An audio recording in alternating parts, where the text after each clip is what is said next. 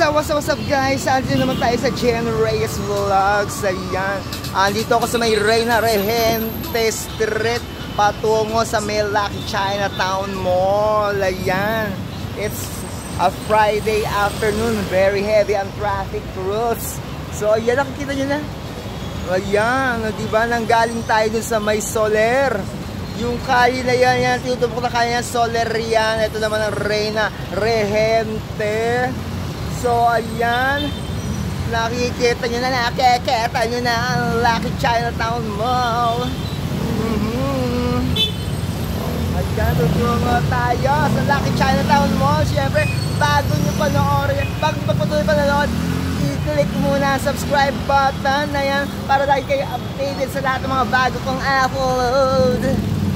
Ayan na, ang Lucky Chinatown Mall. Mm-hmm. Malapit dito sa may Alvarado Street.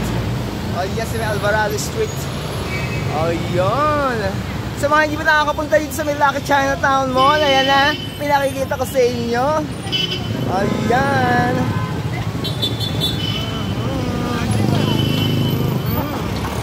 O, diba naman? O, syempre, itataas ko pa ng konti. Itataas ko ng konti. Ayan, nakita nyo na. Ito yung pinakapasad nila. Ayan, okay. That's all for this video. Bye for now.